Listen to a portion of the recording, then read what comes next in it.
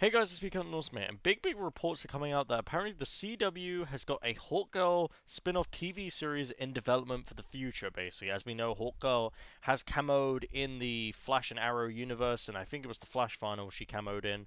Plus, she will be one of the main characters of the Legends of Tomorrow spin-off series that is coming and starting in 2016.